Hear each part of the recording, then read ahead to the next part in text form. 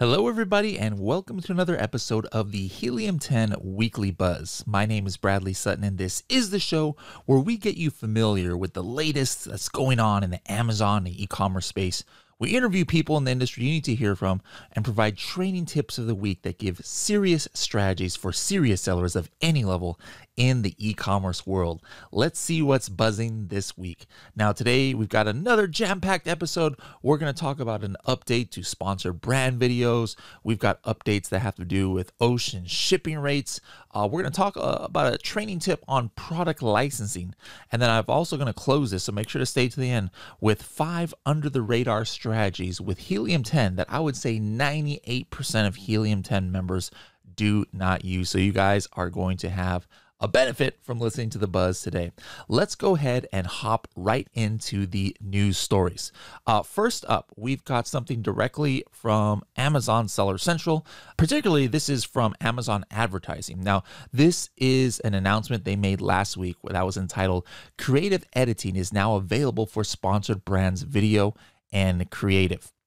So what this is is it says that Am, uh, Amazon advertisers can now update the ad creatives of their live sponsored brand video campaigns uh, that are created with ad group. So what happens is before you would have to kind of like do a brand new campaign if you needed to to edit the creative in your sponsored brand video campaigns.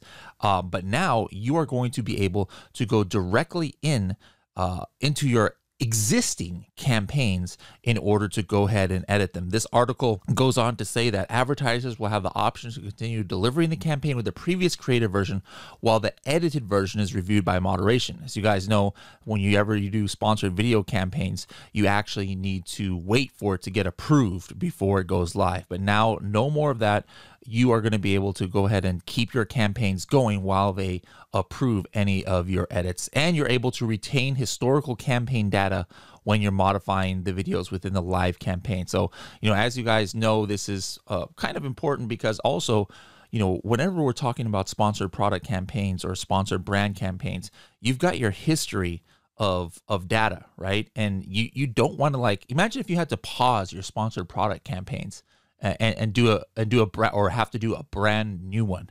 And then you lose all of that historical data and all the training that the algorithm has been doing. So this is kind of big if you're doing sponsored video campaigns that if you know you want to change out your video or you want to change out your creative now you don't have to worry uh, about having to start a new campaign or completely stopping your campaign while it's being approved. Let's go into the next article now and this one was from marineinsight.com and it's entitled uh, ocean shipping rates plunged 60% in 2022. So this is a, uh, you know, I'm sure pretty welcome news to all. It talked about how the cost incurred to ship a 40 foot container to the West Coast in the US from China is about $5,000 per box, a drop of 60% from January 2022. And if you're going from Europe, to, from Asia, it's about $9,000, which is about 40% less than early 2022.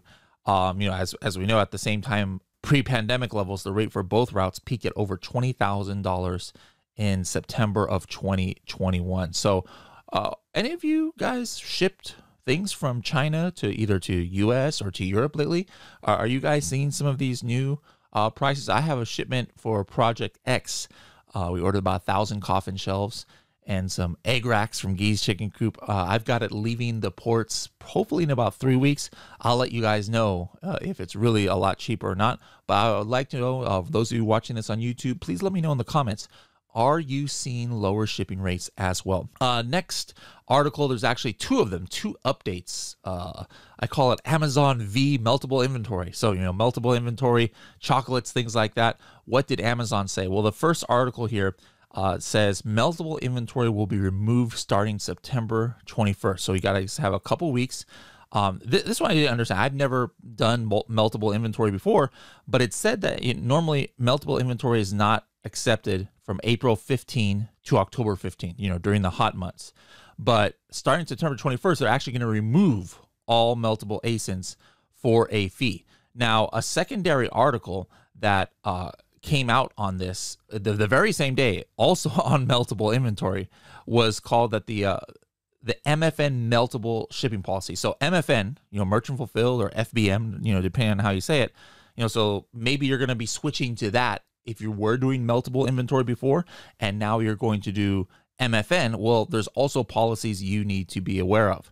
So they talked about also on September 21st, there's a new policy that says that, hey, if you start getting bad, you know, marks on your business from your MFN meltable inventory, you're actually in danger of getting your Amazon account deactivated. All right. So it says that, hey, Amazon products have to have high quality standards when exposed to high temperatures of 75 to 155 degrees. I don't know where, where the heck your product's going to get exposed to 155 degrees, but hey, it is what it is. Uh, global warming, I guess, right? But just pretty much understand that you cannot be uh, doing uh, meltable products shipped by yourself and getting complaints without Amazon cracking down on your account.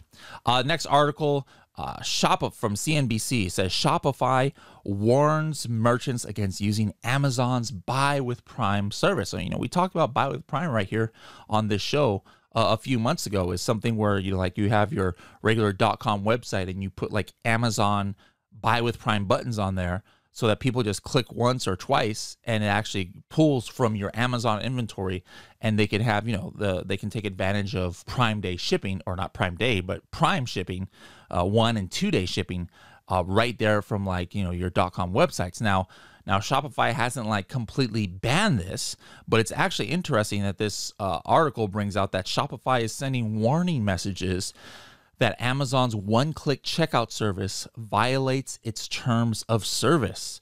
And then it said that Shopify has its own payment and checkout service, Shop Pay, and it seems like they definitely want to prioritize that. Um, but it's very interesting. You know, as soon as you uh, try and put these buttons on your website, they'll send you a message saying, "Hey, this is kind of like not in compliance with our terms of service," you know, and that you know we can't protect you and this and that. So you know something might be brewing here. So you know we had talked about before when we first talked about this that hey maybe shopify would be cool with this and it would be interesting if you had a shopify website. Would you put the amazon buy with prime button on there? Now if things continue like this you know could they ban that button you know altogether? You know if that happens what will you do? Have any of you since april may when this buy with prime button uh, came out uh, integrated that to one of your websites uh, let me know. And if you're if you're uh, haven't heard of any issues on WooCommerce or other websites, but if you're doing Shopify and Amazon outright just or not Amazon, but Shopify bans this, uh, bans you using this button on your website, what are you going to do? Are you going to switch your platform or just you know what go back to you know using whatever you used to before? Interesting uh, developments. Now, in a lighter note, uh, the again CNBC there was another article, um, and this one is called uh, this couple had an Amazon themed wedding to celebrate how e commerce brought them together. It was about Eddie Levine and Jing. Eddie has been on the uh, Serious Sellers podcast uh, uh, a while back, and they had an Amazon themed wedding. Now that they met through Amazon conferences, I remember I remember seeing them at Amazon conferences in 2016. They weren't even dating then, and it even it talked about how their first kiss was at an Amazon seller summit in New, New Orleans. I was there. I was at, I wasn't there at their first kiss, but I was there at that uh, conference. And this article is pretty pretty interesting because they maybe it's a dream of the some e-commerce you e-commerce entrepreneurs out there, but at the wedding reception, the guests were seated at tables designated with different ASINs. All right, so ASIN numbers like determine which uh, where you're going to go to. Party favors, the wedding favors were tiny Amazon packages that had barcodes and had treats, and they were placed in miniature shopping carts. And it's it's it's just kind of um, it goes on and on. But this couple went all out with their Amazon themed wedding. So that got me thinking it's like, hey guys, they can't be the only ones. There's got to be people out there who uh, maybe have met at an Amazon conference and they're both Amazon sellers and, and then they get married. Um, so I want to know uh, who's going to, they're the first, you know, even featured on CNBC. So who's the next one, couple, e commerce couple out there who's going to have some Walmart or Amazon wedding. Pretty cool. All right. That's all the uh, news for today. Now let's go ahead and get into um, the, the rest of our show. And first up, I uh, I want to give you guys my freedom ticket clip of the week. Now, this is about product licensing. You know, this is a clip from Paul Miller, and he's going to talk about what licensing is and some of the the things that are associated with it. Guys, this is something that can give you potentially tons and tons of extra income and even the ability to compete in niches where that are overly saturated. Let's go ahead and see what Paul says about this. First of all, let's talk about what is licensing. Here's my definition licensing is a business arrangement in which one company gives another company permission to use its intellectual property in exchange for some valuable consideration, usually dollars in the form of royalties. What is IP or property? It can be a brand, images, music, characters, text copy, logos, products, etc.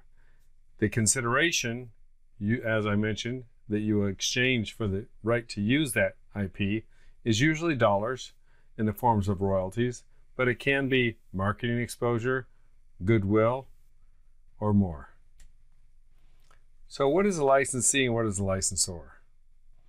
A licensee is a manufacturer like you or a business with a unique or successful product who's seeking to expand and differentiate in their product line.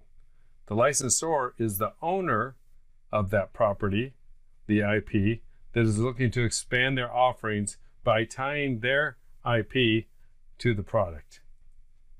So let's have some examples of licensing right now. Here you see four products. First one is the George Foreman Grill. This was basically a home appliance uh, that was turned into a licensed product uh, through actually my friend Rick Cesari who developed the George Foreman grill by licensing it with George Foreman. The second item you see there is a kids' play tent, which has got a Disney princess theme on it. The third item there is an umbrella, as you can see, with a sports logo. And then you got some Hello Kitty socks there. A couple of their favorite uh, licensed products of mine. Here's one example of my CozyPhones, and I'm sure you'll recognize this as Elmo from Sesame Street.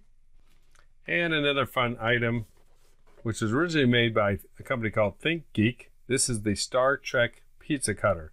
It's a pizza cutter in the shape of Star Trek Enterprise. So there can be all kinds of unique applications of licenses. So I think licensing uh, for us as private label sellers and brand owners solves lots of challenges. Some of the challenges that we have as owners are that we strive to be unique. We are seeking to innovate and make a better product, better than our competitors. We want to prevent copycats and hijackers. We're seeking to expand our sales channels, build brand recognition, scale your business beyond Amazon. We look for new marketing opportunities, and we like to build an audience. All right. So, how many of you out there have used product licensing? I'd be curious to, to know. Uh, next up, we're going to have an interview from Lem, and he's going to interview uh, somebody out there in the industry who has been using Helium 10, who has been selling on Amazon for a while. Let's see what we can learn from this interview. Hello, everybody. Here we are with our interview of the week with Andrew from Blue Tusker. He's part of Helium 10 Seller Solutions Hub. Welcome to the show. How are you doing? What's going on? Thanks for having me. Appreciate it. Absolutely. Well, we're just going to go ahead and dive right into it. Tell us a little bit about how you got your start on Amazon.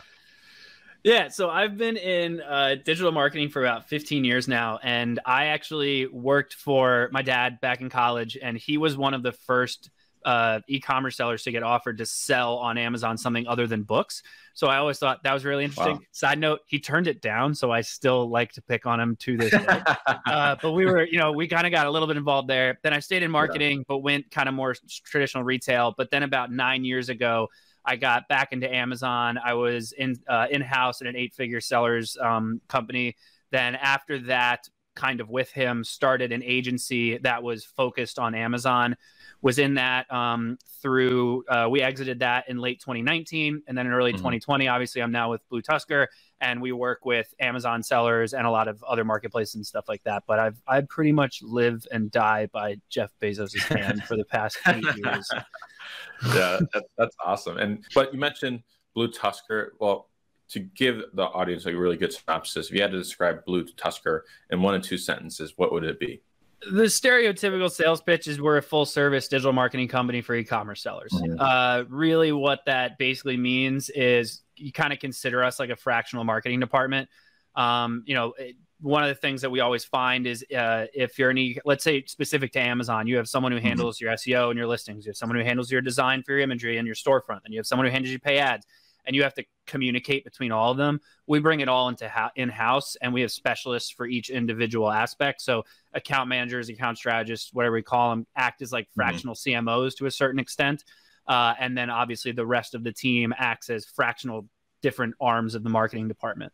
Well, feel free to check them out at Blue Tusker on the Seller Solutions Hub. There's definitely plenty of Amazon software solutions out there. So, what makes yeah. you yeah. at Blue Tusker stick with Helium 10? I mean, I'd be lying if I didn't tell you we haven't tried all the other ones. Uh, you know, there's there's some basic stuff of just like you know it, the most obvious being Helium 10. Not only I think is one of the easier ones to use from a UX perspective, but also it's been around the longest, so the data that you have to leverage is a lot more accurate. So you get some of these newer platforms and they come out and they are you know com- they're saying that they have all these different options but mm-hmm. until they connect their api a lot of that stuff is just now coming in so that data tends to be misconstrued. So we would actually okay. we used to have all of them and we would actually compare and contrast the data. And after a while, I was like, this is stupid. Helium 10 has been the closest forever. Yeah. So we're just gonna stick with them. I love that. And tried tried and true method, right? Yeah, I mean it's it's that and then Helium 10 is also one of the few that I think has a, a you know at least some omni-channel aspects. A lot of what mm-hmm. we do is helping sellers do more than just Amazon. And so mm, by, you know, by having some of those tools in Helium 10, it really helps us start that transition process. Yeah, I love that. Absolutely. And of course, we got Amazon, Walmart, ideally have some other marketplaces in the next couple of years. So it's only going to get bigger mm-hmm. and better from here. Um, yeah. But that's awesome. Well, I know you said that you go towards, uh, you like Helium 10 because it definitely is leaning more t- towards omni-channel, but looking specific specifically towards Amazon, what's a really quick tip, trick, or hack that people watching today can take and implement today for their Amazon business? I find that one of the most uh, underutilized things that I guess I don't know if that's the right way to word that, but like the one of the things that people never really think about is that mm-hmm. fighting the Amazon algorithm never wins. But if you actually cater to the consumer, which is all Amazon wants, then you mm-hmm. actually start to rank better because you're getting better sales and your conversion rate is higher. Well, the easiest way to get your conversion rate higher is to make sure that when someone lands on your page, they're extremely familiar with what they were actively searching for. So one of the things we always suggest to do is besides just optimizing your listing once, mm-hmm. monthly, quarterly, however often you feel you need to do it, pull a search term report from your advertising, look at what the top couple terms are that you're converting for for a specific ASIN, and then make sure that that term is either in the title or ideally in one of like the first couple pictures because if someone searches something, as soon as they see it on that page, they're more familiar with that is what I searched. This is what that is. They're more comfortable. They'll actually convert a lot faster. And then obviously, your higher conversion rate equates to a higher organic ranking, which equates to more sales, and everyone's happy. And mm-hmm. then you retire. Thank you so much, Andrew, for this interview. I'm sure a ton of people got a ton of value from this. Yeah, thanks for having me. All right, thank you, Lem, for that interview. Now, uh, lastly, like I promised, I wanted to give you guys five under the radar helium 10 hacks or helium 10 strategies that I would say most helium 10 users don't even know we have. All right, so this first one is uh, going to be about profits. Actually, the first few is going to be about the helium 10 tool profits. This profits is a tool that even if you're on the starter plan at $37, uh, or $39 a month, you've got access to profits. Uh, definitely, if you obviously if you have platinum or diamond or elite. Now, this first one is within profits.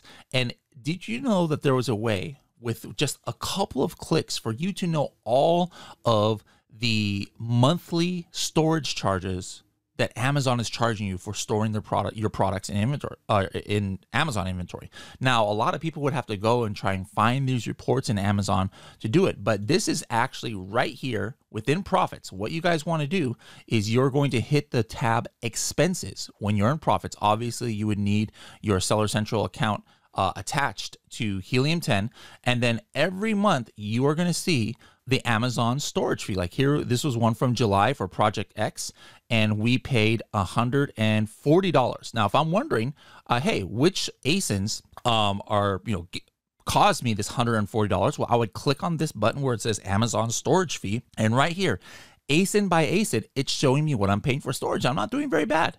For the coffin shelf, I only paid $20 for the month for storage.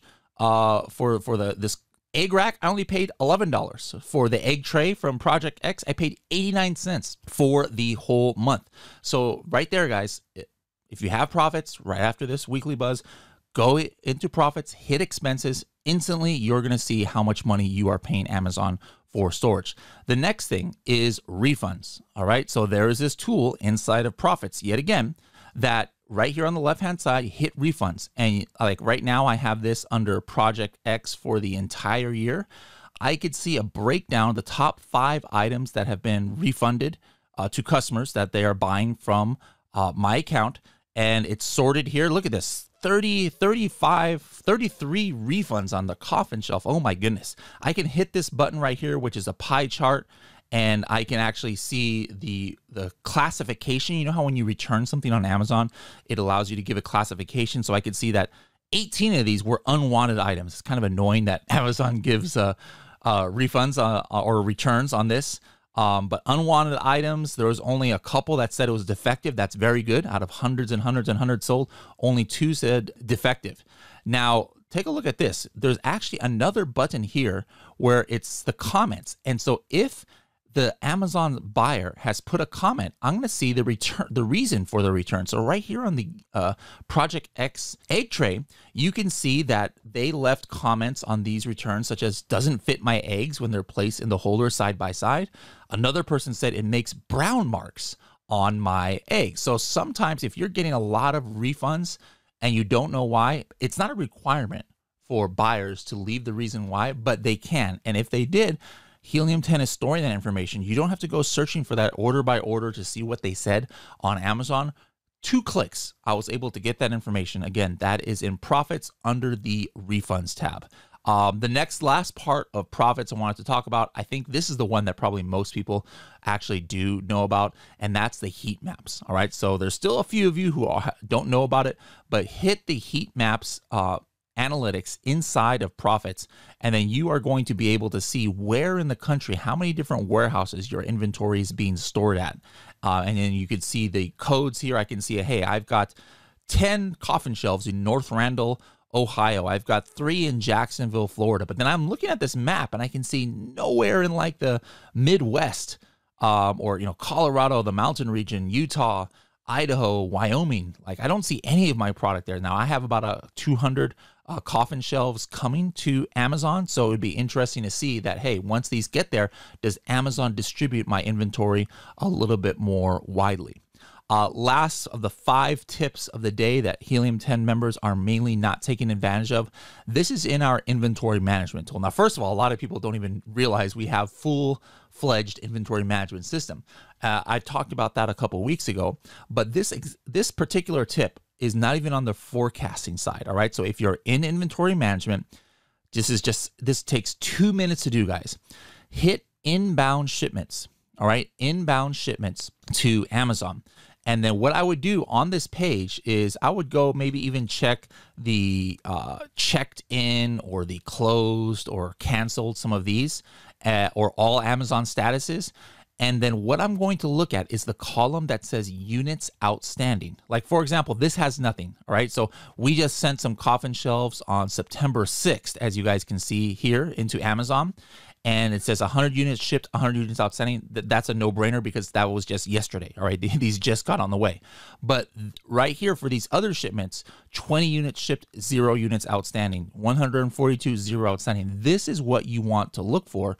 Uh, you want to see if there's any units outstanding because what happens is sometimes you, you say you ship 150 units in, and then for whatever reason the entire thing hasn't gotten there yet and you need to go check what's going on. Or maybe there's 3 units or 4 units or 5 units that never got checked in. Well after that you've got to go into Amazon and, and claim that you know th- this was lost a lost uh, inventory uh, Usually Amazon wants you to wait like two months for that to happen, but hey, no need to look into Seller Central in order to you know figure out where out of all your shipments you have outstanding units. You can do that just in two clicks in inventory management by going and clicking on the inbound shipments tab. All right.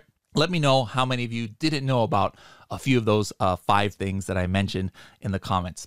All right, lastly, we are coming up. It's just uh, now kind of like the official two weeks away, less than two weeks away, guys, for Sell and Scale Summit. So there's still chance to get your tickets. Make sure to go to h10.me forward slash S3. As of last week, we actually sold out of the VIP tickets, but we have regular tickets left. Uh, it's Everybody's really excited. I'm super excited to meet you guys there.